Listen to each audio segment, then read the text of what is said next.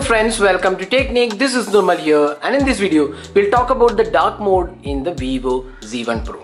So one of the new features available in the Vivo Z1 Pro is the dark mode. So when uh, the device was launched, the dark mode was uh, given a mention. So we'll show you how to enable dark mode and what it features. So uh, this device comes with a Qualcomm Snapdragon 712 uh, 712 octa-core processor with 4 and 6 gigabyte RAM and it has Android 9.0 so in order to enable dark mode all you need to do is go to settings and then scroll down. You can see display and brightness here. So uh, select display and brightness.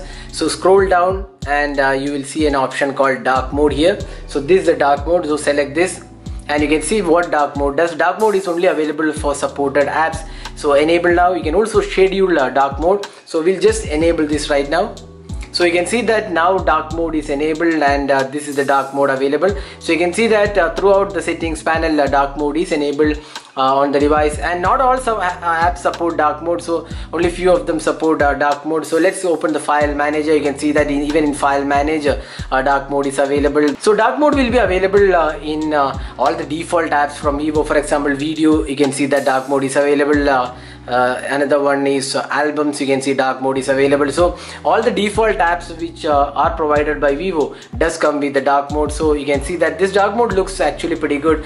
Dark mode is one feature which most of us actually want Android to implement so this has been implemented in few smartphones so now Vivo is bringing the dark mode uh, to Vivo Z1 Pro. So if you have this device, you can enable the dark mode and this actually gives it complete dark uh, theme to all the default or the uh, stock apps from Vivo. So that's all guys uh, with the dark mode on the Vivo Z1 Pro. Hope you enjoyed watching this video. Do hit that like button and also hit that subscribe button for more videos. This is Nirmal signing off. Thanks for watching. Hope to see you in our next video.